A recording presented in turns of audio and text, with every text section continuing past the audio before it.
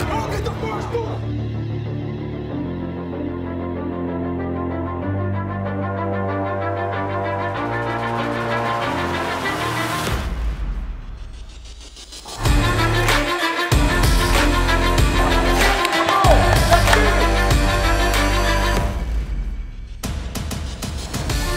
Physical fitness is becoming a part of our culture. To get here, you're gonna have to do your push-ups, your curl-ups, your 1.5 mile run.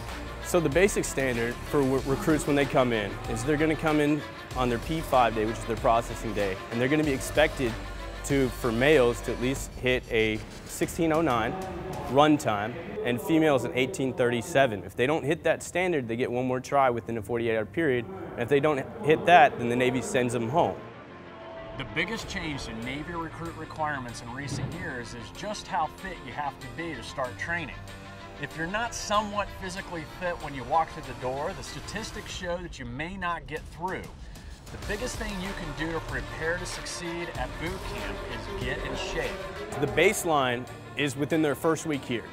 It's the first thing out of the door that they have to do and they have to accomplish just to go on through training. If you fail, you will be sent to a STEP program. If they don't meet that actual forming standard, then training's at a halt.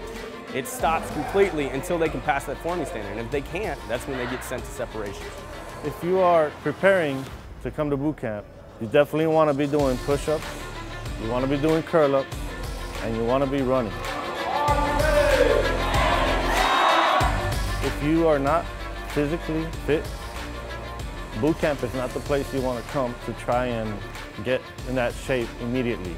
If you've never done any physical fitness and you come to boot camp, you will not make it. You have come here just to see boot camp and you'll end up going back. Push ups, curl ups, cardio. If you're going to pass boot camp and become a sailor, you've got to start working on your fitness. A little work now can save you stress later. Come ready, come fit, and show the Navy what you can do.